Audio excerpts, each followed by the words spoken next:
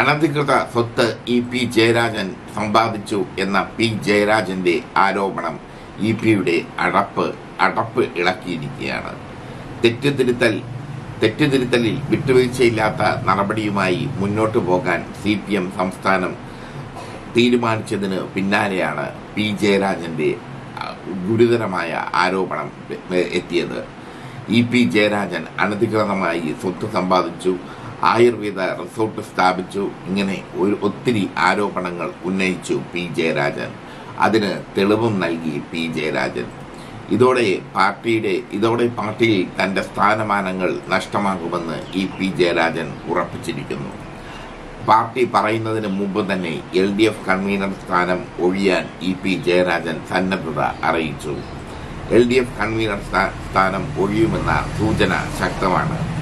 ആരോഗ്യ പ്രശ്നമെന്ന് വിശദീകരിച്ചുകൊണ്ടാണ് സ്ഥാനമൊഴിയാൻ E P ഒരുങ്ങുന്നത്. വെള്ളിയാഴ്ചത്തെ സെക്രട്ടേറിയറ്റിൽ പങ്കെടുക്കില്ലെന്നും ഇ പി പറഞ്ഞു. തന്നെ ലക്ഷ്യം വെച്ചുള്ള ചില നീക്കങ്ങൾ നേരത്തെ പാർട്ടിക്കുള്ളിൽ നടക്കുന്നുണ്ടെന്ന പരാതി നേരത്തെ തന്നെ അദ്ദേഹത്തിനുണ്ടായിരുന്നു. അതേ തുടർന്നാണ് ദീർഘ നാളത്തെ അവധിയെടുത്ത് അദ്ദേഹം പാർട്ടിയിൽ നിന്ന് വിട്ടുനിന്നത്. ആരോഗ്യ പ്രശ്നങ്ങൾ ചൂണ്ടിക്കാട്ടിയാണ് ഇപ്പോൾ സ്ഥാനമൊഴിയാമെന്ന് അദ്ദേഹം നിർ- നിർദ്ദേശിച്ചിരിക്കുന്നത്. ഇ പി ജയരാജനെതിരെ ടി ജയരാജൻ ഉന്നയിച്ച ആരോപണത്തിൽ അന്വേഷണം നടത്തി നടപടിയെടുക്കാനാണ് സംസ്ഥാന സെക്രട്ടറി എം വി ഗോവിന്ദൻ മാസ്റ്ററുടെ നീക്കം. അതേസമയം വിവാദങ്ങളിൽ ഇ പി ജയരാജൻ കടുത്ത അതൃപ്തനാണ്. നേരത്തെ റിസോർട്ടിന്റെ നിർമ്മാണ വേളയിൽ ഉയർന്ന ആരോപണം തന്നെ ലക്ഷ്യമാക്കി തെറ്റുതിരുത്തൽ രേഖയുടെ ഭാഗമായി വീണ്ടും ഉന്നയിക്കുന്നതിലാണ് അമർഷം.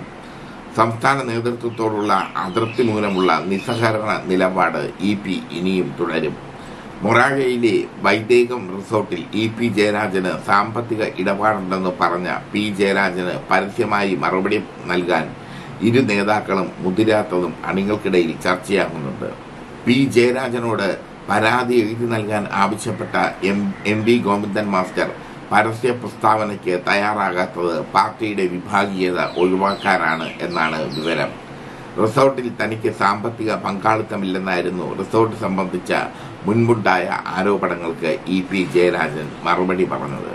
എന്നാൽ സാമ്പത്തിക ഇടപാടുകൾ ഇ പി ജയരാജന് ഈ റിസോർട്ടുമായി ഉണ്ടെന്നുള്ള ശക്തമായ വാദമാണ് പി ജയരാജൻ ഉന്നയിക്കുന്നത്. എന്തായാലും ഇ പി ജയരാജൻ കൺവീനർ സ്ഥാനം ഒഴിയും എന്നുള്ള സൂചന ലഭിച്ചു കഴിഞ്ഞു.